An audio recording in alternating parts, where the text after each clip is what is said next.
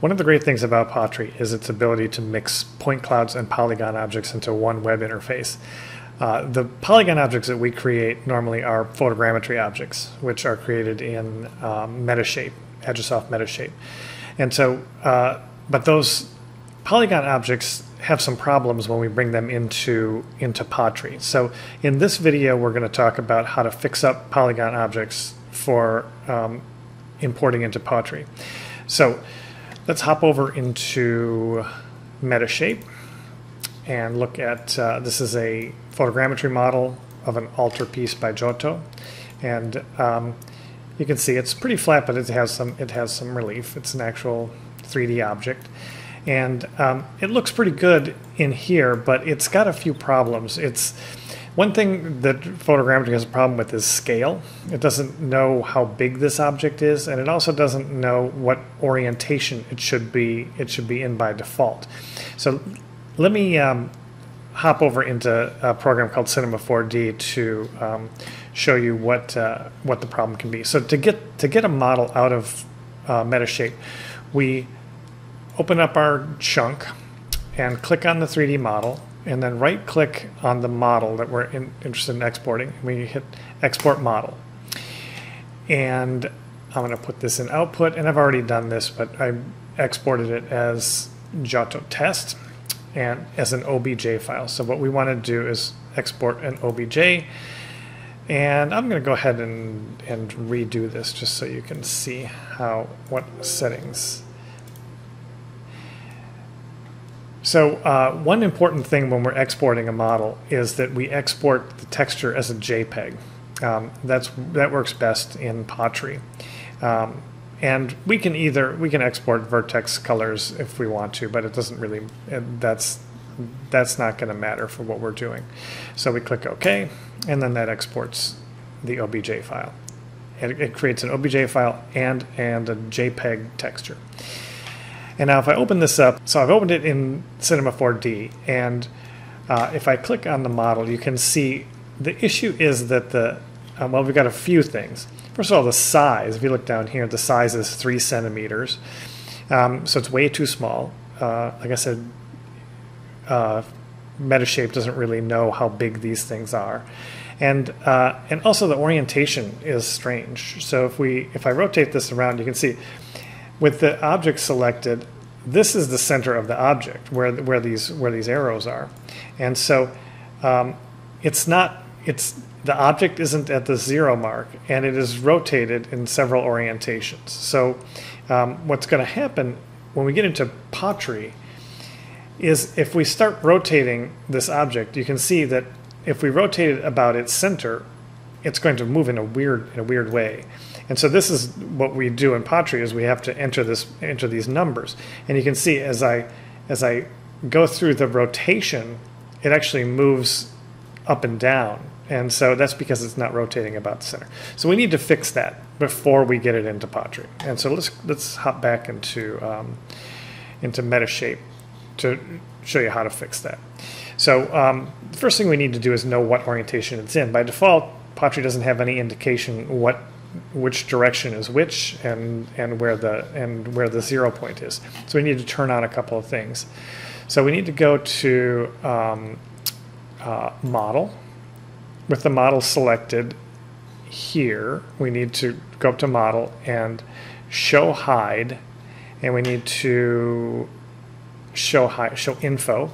That brings us up a little um, crosshair to give us an idea of what, which way is X, Y, and Z.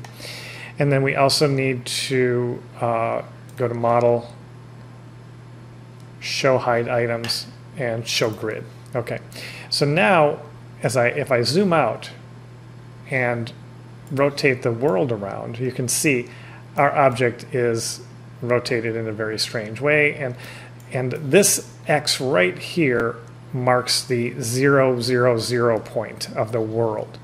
So what we want to do is get this thing into um, into that, and we want to make sure this is this, this is really the floor. In Potree, uh, Z is up, and if you notice when I rotate the world like this, um, Z is pointed up. So we so we kind of want this to be here, and we want it to be upright when we bring it in. So we're going to use uh, these tools up here in Potree to um, to rotate our object. So when we when we have the selector selected, when we rotate the world, it, it rotates the entire world.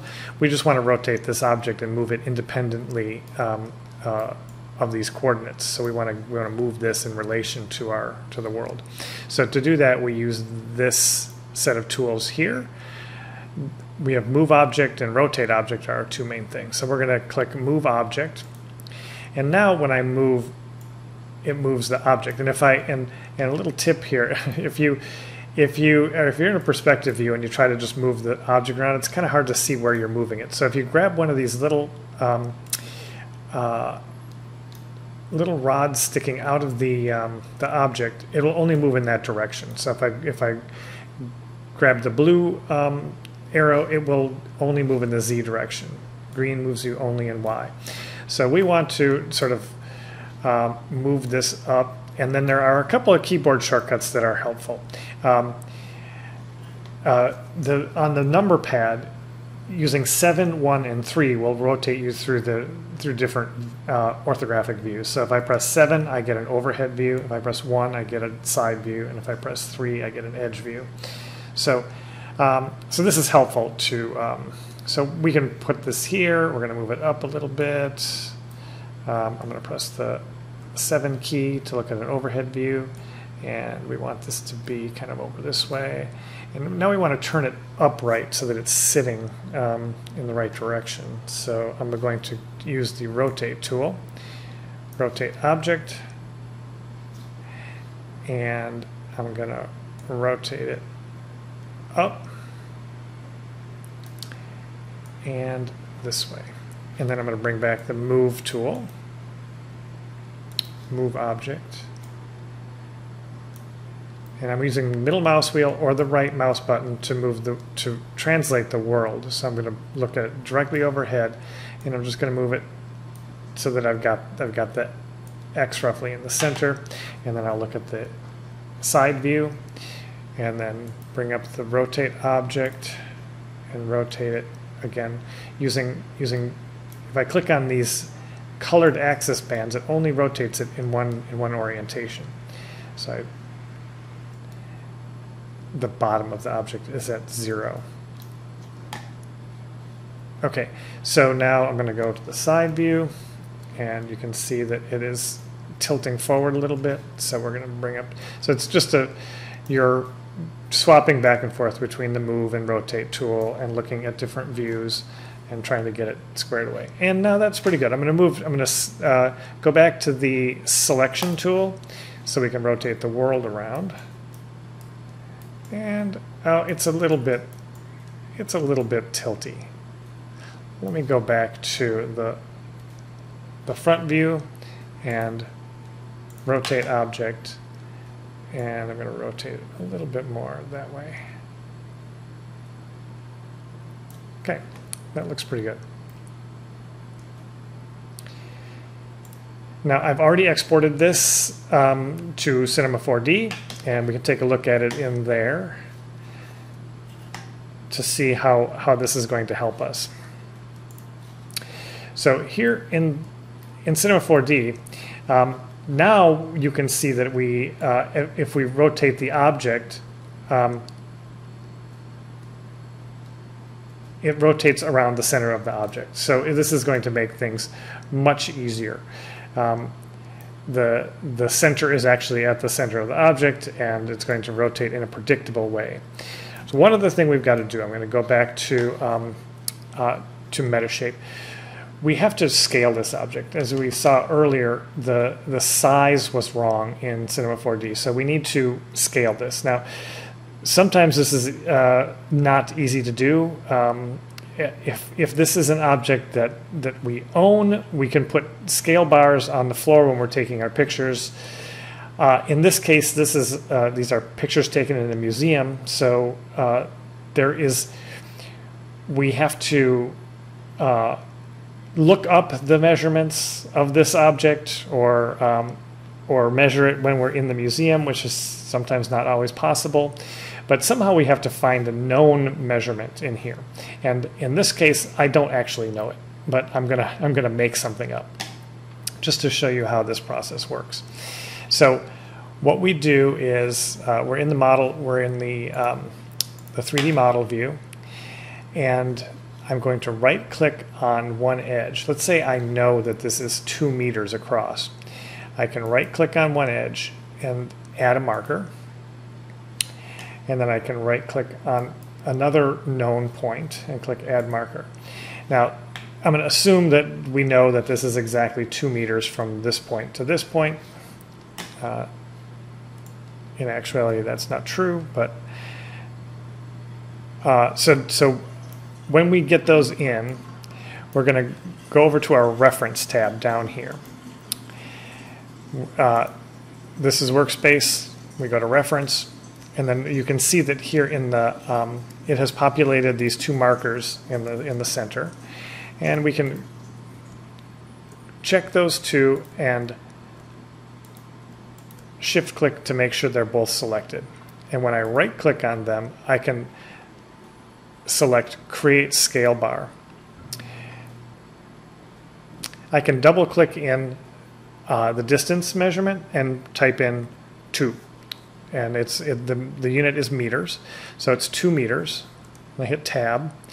And to make this stick, this is um, something that's very important and easy to forget, uh, is you have to press this little um, two arrow icon at the top that commits it to um, and gives you some some information about uh, about this the scale. So now when I export this, it will have an actual scale, and it will be two meters, and it will be upright. So now the next time I export this as an OBJ file, and let's do that. Let's go File, Export, Export Model, Output, and let's call this test two.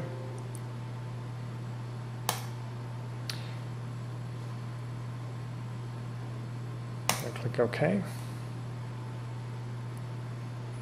Now when we bring this model in, it will be it will be sized so that it is it's two meters across.